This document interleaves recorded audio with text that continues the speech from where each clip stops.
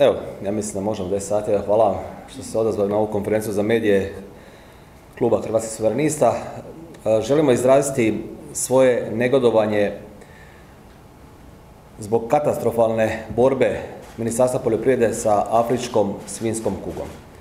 Naime, od same pojave afričke svinske kuge u posavskim podgajcima pa sve do današnjeg dana bilo je niz propusta, a vrhunac je jučerašnja naredba Ministarstva poljoprivrede kojom se naređuje klanje svih svinja u nultoj, prvoj i drugoj kategoriji objekata na području Vukovarsko-Srijemske, Osječko-Baranjske i dijelom Brodsko-Posavske županije do kraja listopada. A također se naređuje klanje svih svinja na području cijele Hrvatske u tim istim kategorijama od nulte do druge do kraja studenog. Ovom naredbom se definitivno uništava tradicijsko svinjogojstvo u Republici Hrvatskoj. I svinjogojci mogu staviti ključ u bravu. Moram napomenuti da je niz nelogičnosti u ovoj naredbi. Naime, što se tiče zona ograničenja i zona zaraze, odnosno zona nadzora, kao što su Vukovarsko-Srijemska, Osječko-Baranjska i dijelom Brodsko-Posavska županija, znači svinjogojci moraju poklati svoje svinje do kraja listopada. Te svinje se sukladno stavku 7 mogu klati samo u službenim klaonicama, a isto tako što je vrlo bitno, sljedećih 12 mjeseci je zabranjeno držati svinje na tim objektima. Znači, time se uništava tradicijsko svinjogojstvo u Hrvatskoj. Ja nisam pobornik teorija zavjere, ali ovakva naredba je donesena ili ako ne znate, zbog nemara i neznanja, ili se to radilo svjesno kako bi se pogodovalo velikim korporacijama koje drže na tisuće tisuće svinja u kategorijama treće i četvrte, ili da se pogoduje uvozničkom lobiju. Treće nema. Ovo jednostavno treće nema. Slavonija je doslovce nakon ovoga na koljenima. Osim toga, je li vrijeme klanja krajem 10. mjeseca na temperaturama od 20 stupnjeva, pa ako to nije potencijalni uzročnik daljnje zaraze, onda ne znam što je. Mi koji dolazimo iz Slavonije znamo kad je vrijeme klanja. S obzirom na tople zime u zadnje vrijeme, to je 12. ili čak prvi mjesec.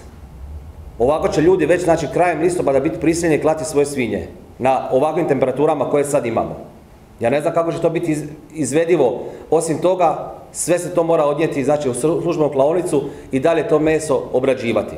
Također, mora napomenuti kakve veze ima recimo jedan svinjogojac u Međimurju, u Labinu, u Konavlima sa zarazom koja se pojavila u Istočnoj Slavoniji. Zašto on mora krajem studenoga klati svoje svinje, odnosno nakon 1. 31. 30. studenoga u Hrvatskoj više svinja na malim obiteljskim poljoprivrednim gospodarstvima biti neće. Slavonski seljak je preživio brojne nevolje i brojne nedaće od Domovinskog rata do evo strašne oluje prije nekoliko mjeseci, ali nevolja zvana Marija Vučković u vidu ministrice poljoprivrede tu nevolju preživjeti neće. Jer ovako katastrofalno vođenje Ministarstva poljoprivrede uzrokovalo je da je već do sada zatvoreno nekoliko stotina obiteljskih poljoprivrednih gospodarstava. I to je samo početak. I mislim da se ovo stvarno svjesno radi. Mi ćemo dati potporu i prosvjedu svinjogojaca koji, su, koji je najavljen sljedeća dva tjedna, ali ćemo u ime Hrvatskih suverenista od sutra krenuti sa prikupljanjem potpisa za opoziv ministrice Marije Vučković. Jer smatramo da jednostavno nije dorasla ovoj funkciji, da je bilo niz ishitrenih odluka, niz kontradiktornih odluka što ministrice, što državnog tajnika Pavića i ono što je najgore u svemu ispašta slavonski seljak. Bojim se da nakon ove naredbe, ukoliko ona ostane ovakva, a mi ćemo se svim sredstvima truditi da se ipak promijeni, da se više to tradicijsko svinjogojstvo u Hrvatskoj nikad oporaviti neće. Jer kad nekom zabranite da godinu dana ne smije držati svinje na svom objektu i to u županijama kao što je Vukovarsko-srijemska, Osječko-baranjska i dijelom Brodsko-posavska gdje je 80% svinjogojaca, onda morate znati da se teško itko od njih više želi usuditi ići u daljnji uzgoj svinja nakon 12 mjeseci. Tako da evo krećemo sa ovom e, inicijativom i očekujem tu potporu doslovce svih oporbenih klubova, a posebice saborskih zastupnika iz Slavonije, bez obzira znači na ideološki preznak, jer ovdje se radi o opstanku ili nestanku Slavonije. Ne znam što je sljedeće, najbolje da nas sve isjela Slavonije, neko ugase svjetlo i zatvore vrata. Hvala mi. Ima li neko logično objašnjenje za tako... Ja ga ne vidim, evo, ja ga ne vidim. Ne vidim logično objašnjenje da netko u Međimurju mora klati do kraja 11. mjeseca svinja, 300 km je udaljen recimo od mjesta zaraze. Ili neko u Labinu 500 km je udaljen od mjesta zaraze. Ja ga ne vidim. Je li to pritisak iz Europske unije, je li to pritisak trgovačkih, odnosno uvoznih lobija ili velikih korporacija, ja vjerujem da će i to izaći na vidjelo, jer nema mi logike da se uništava nešto što postoji stotinama godina. Znači, Austro-Ugarska, Kraljevina Jugoslavija, komunistička Jugoslavija nije uništila to tradicijsko snjogojstvo, očigledno će ga uništiti ministrica Vučković.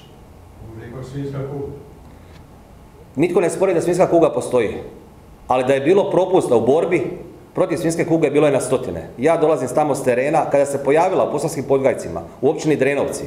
Znate gdje su bile barijere dezinfekcijske?